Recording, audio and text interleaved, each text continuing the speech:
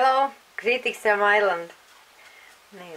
Um, around, no, not around.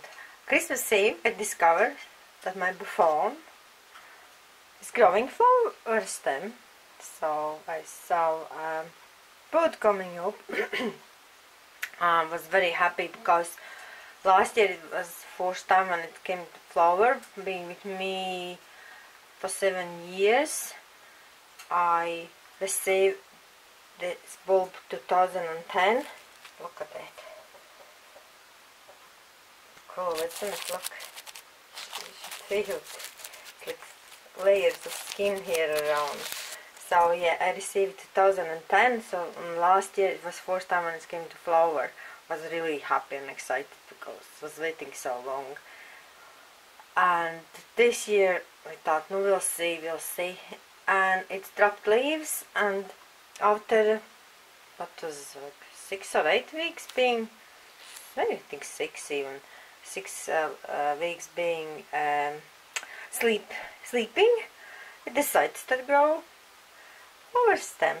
I'm really happy. So today is uh, Monday 11 December and it's in flower for last three days about. And to get something like this you must start with this. These are little Boophone seedlings and these are the Boophone's seeds. This one's sown at 30th of December so it's only two weeks no 12 days. And one couple of them already have a nice leaf. And this this is my last year sowing. If anybody saw video some fun seeds. There it is. So six, six years later hopefully I will have some flowers. Or even a bit longer because this was I think three four years old suppo supposed to be when I got it from South Africa. So yes I'm very very happy. At it. Is it not gorgeous? It grows in huge pot I know I saw it in smaller pots, but I think that's its cruelty because this plant, this bulb have a very big roots and fat, so it's be crying to put it smaller pot. And look how its flowers. Forced that you could see these are uh, open I think three days ago, two days ago they were forced and then now these are new ones and there are still buds and when the taller ones be open tomorrow. And look what's deeper in they gonna be open after tomorrow. So we'll see. I will have a flowers there about a week or even longer. Oh there is little buds look. Can you see it? I tried to pollinate it last year but didn't succeed. So I tried again luck of my um, but we'll I think it needs more light or something. Now what else? So there is my gorgeous couple days later. I thought I gonna wait a little bit and to show you how does it look after being in flower for a while. And as you see flower stems because this is I don't know how to call they got longer but uh, over this and they're gonna go bend down a little bit like this.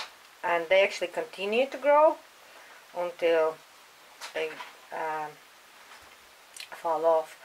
So I don't think these ones that is in middle gonna get the flower because I then need I think I need more light then but no okay. Happy what I have here.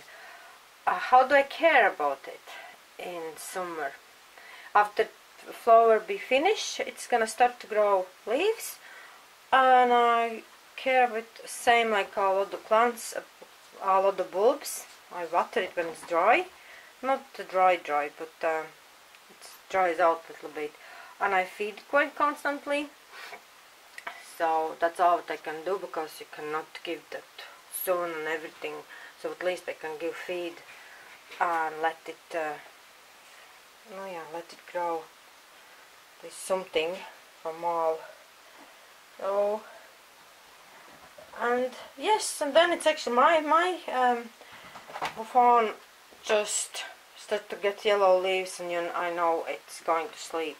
And it actually stays there in polytunnel until really cold. And then I bring it in because I'm afraid to lose it.